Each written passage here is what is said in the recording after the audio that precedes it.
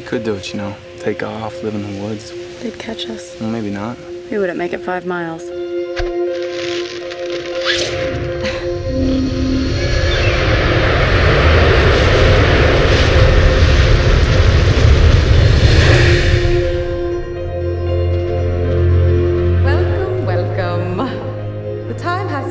to select one courageous young man and woman for the honor of representing District 12 in the 74th Annual Hunger Games. It's your first year, Prim. Your name's only been in there once. They're not gonna pick you.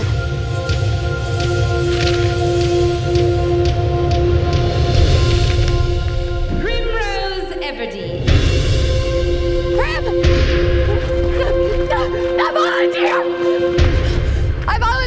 Tribute.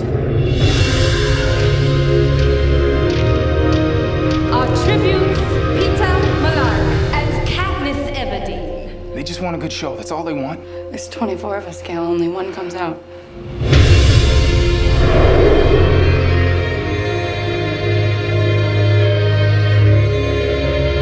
So you're here to make me look pretty? I'm here to help you make an impression.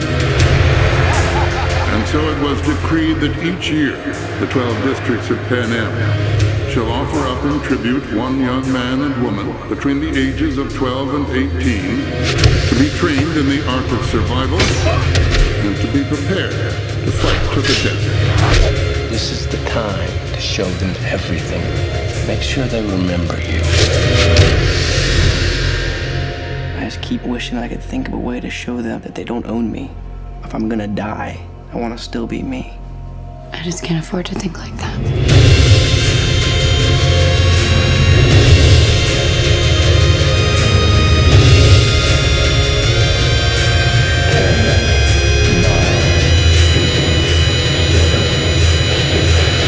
Five, four, three, two, one.